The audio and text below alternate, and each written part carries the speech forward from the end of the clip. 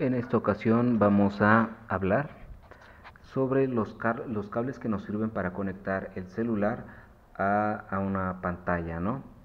Eh, en este caso tenemos dos versiones, una que viene siendo la versión para iOS o Apple y otra que es la versión de Android, este negrito es Android y ese es para iOS.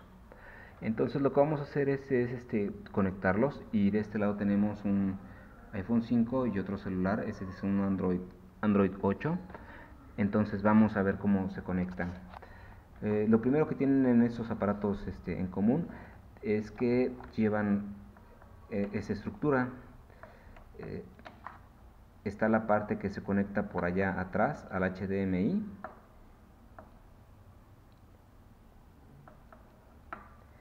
esta es la parte que va por allá atrás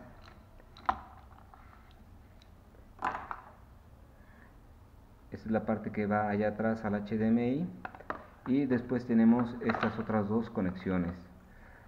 La que lleva este parte la que se ve como entrada USB o macho USB esta es la que va al, al cargador. Estos aparatos se conectan por una parte a la alimentación de corriente como puede ser el cargador de un, de un celular. Y esta parte va a ir conectada pero al cable de datos que conectamos con, la, con el celular.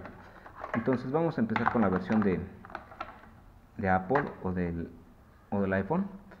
Conectamos primero este por acá atrás.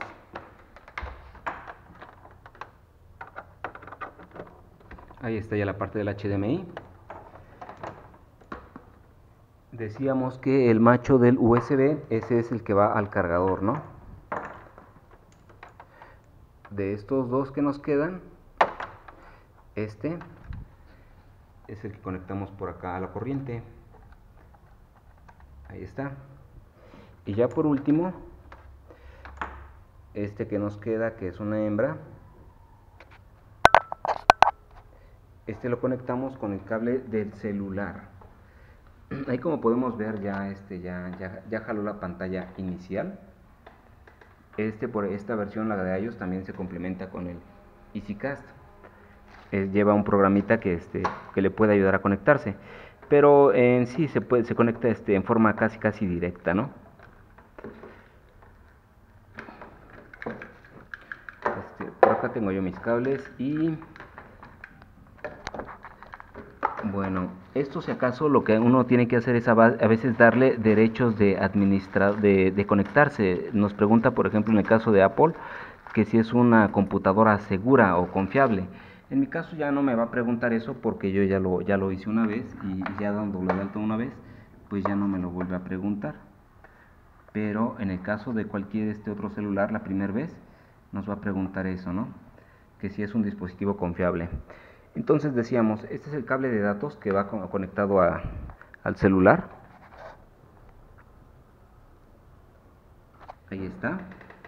Y quedamos que esta punta es la que va acá en el lado hembra. Lo conectamos y si todo sale bien, pues ya vamos a poder ver la imagen allá, en pantalla. Ahí está ya conectado. Y bueno, ya se está activando tiene funciones de carga y ya ahí preguntó lo del troce, ya, no se alcanzó a ver, pero por acá me preguntaba eso de que si era confiable, ya no me lo pidió, pero bueno, ahí está ya. Quedamos que este es el celular y pues ya no, ahí está. Entonces como podemos ver ya está reproduciendo el contenido de mi celular.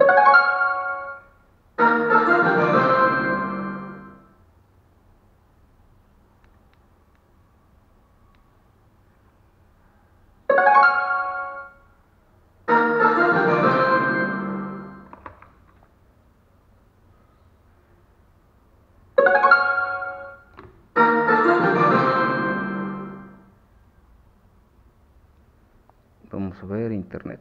No.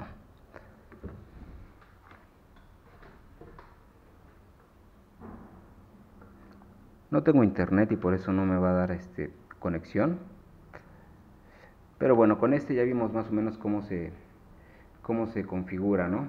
La conexión de los cables y más aparte este, cómo, cómo interactúa el celular junto con este aparato. E insistir, nos va a preguntar que si es confiable, por ahí hay que confirmar en el celular que sí, para que nos lleguemos a esto. Ahora bien, vamos a pasar a la versión de Android. Entonces ahora lo que hacemos es quitar este.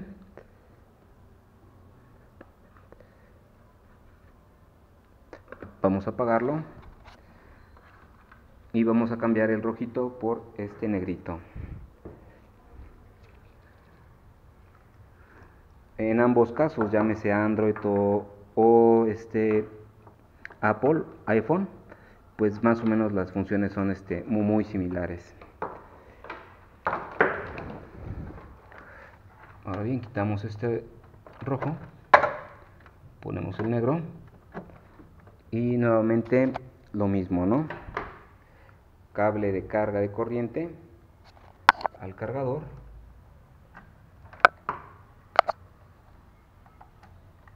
Ahí Y ya por último, el cable de datos. Lo conectamos con nuestro cable de datos del celular. Ahí de entrada ya está la, pantalla y aquí nos, nos, explica un par de cosas. Una de ellas nos dice que tiene que estar habilitado el modo de programador en el, la depuración por, por, por USB y más aparte quedamos que la famosa pregunta de que si es el equipo es confiable. Entonces en el caso de Android hay que hacerle esto ¿no? vamos pues a conectarlo.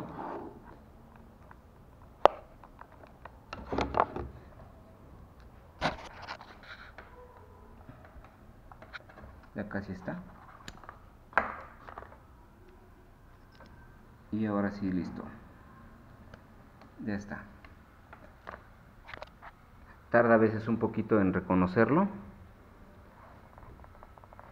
Y más aparte a veces insisto pide permisos no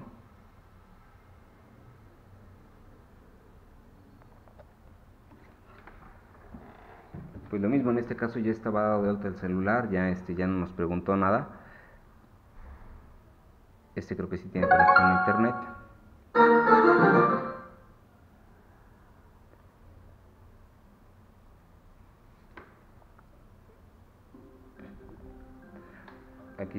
Conexión internet y como podemos ver pues ya se está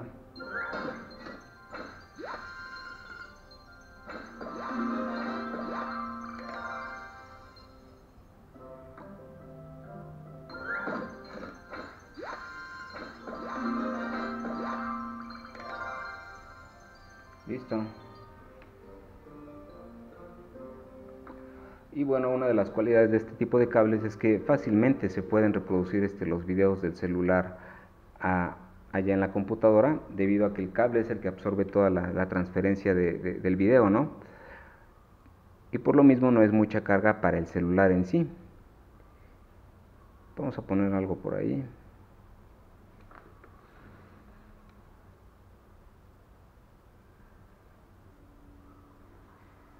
Ahí está.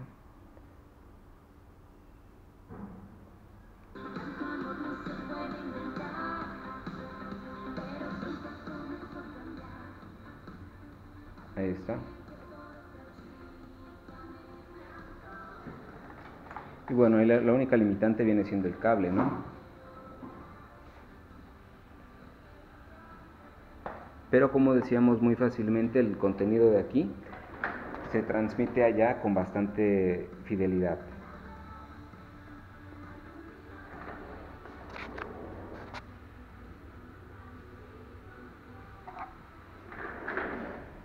Entonces, bueno, en general esa es la forma en la cual podemos utilizar estos cables para transmitir video en la, en la pantalla. ¿Sale? Por último, también explicar, Recordemos que a veces va a haber cables que son, por ejemplo, este nada más es para este Apple. Si se lo pongo a este celular no va a funcionar. Eh, y hay algunos otros que sí efectivamente soportan ambos, ambos, este, ambos sistemas operativos, tanto iOS como Android. Entonces, este es para los dos, este solo es para uno. Hay que fijarse bien en qué tipo de cable estamos utilizando. Y sería todo. Por ejemplo, ahorita estoy utilizando el cable negrito eh, perdón, el, adaptador negrito, ahí está. Y como podemos ver, con ese fue con el que interactué primero con ese celular y ahorita se lo de pasar al, iPhone. Aquí ya de entrada nos está haciendo esa famosa pregunta, confiar en esta computadora y pues le decimos que sí y ya con eso eh, al confiar se supone que ya nos va a pasar la imagen para allá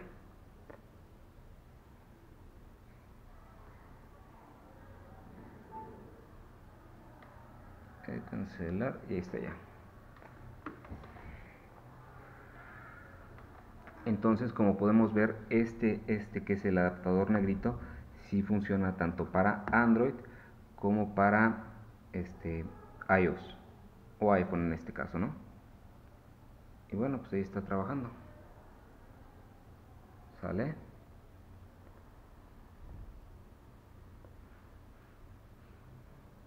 Y bueno, como no tengo internet, pues ya no pongo nada más. Pero pues ahí está.